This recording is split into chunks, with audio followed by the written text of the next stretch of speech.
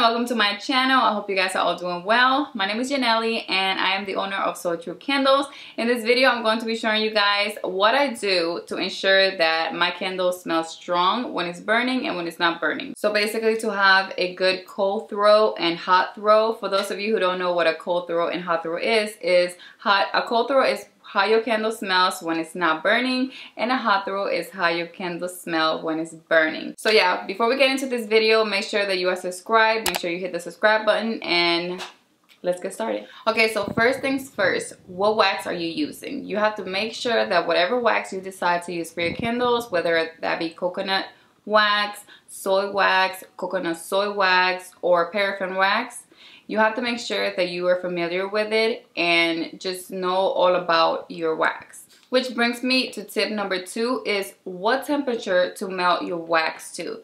So like I mentioned, every wax is different. So you want to make sure that you are melting your wax to the right temperature that's going to be hot enough for the fragrance oil and the wax to mix and bind well. For example, coconut wax is best to melt at a higher temperature, so around 200 to 215.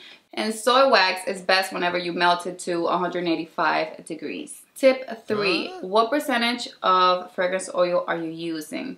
All wax hold different amounts of fragrance oil, so you want to make sure that you know the amount like the maximum amount of fragrance oil that your wax use I use coconut soy wax, so my wax holds 10%. And for some of my candles, I use 8% fragrance oil, and for some I use 9%, and for some I use 10 I did my testing and I found that some fragrance oil works best with 8% and some with 9 so you just want to make sure that you do your testing but make sure that you are not adding more fragrance oil than your wax can handle. And tip number four I feel like is very very very important. I think this is the most important tip of all the tips and it's at what temperature do you add your fragrance oil I like to add my fragrance oil at around 185 to 190 I find that my wax is still hot enough for the fragrance oil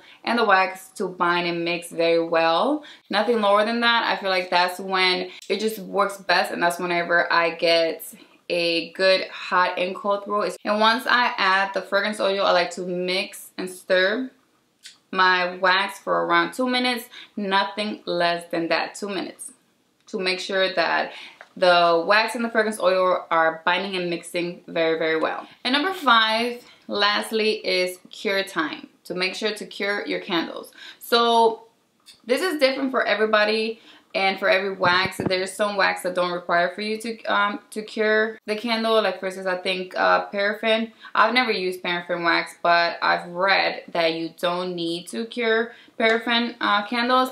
But i use coconut soy wax and to be honest there's been times that i cure my candles for about a week. That's i always cure my candles about a week but i have burn a candle within a few days of me making it like maybe like three days or two days and it has a good scent throw so yeah you want to make sure that you're your candles to from through at least three days to a week or maybe two weeks.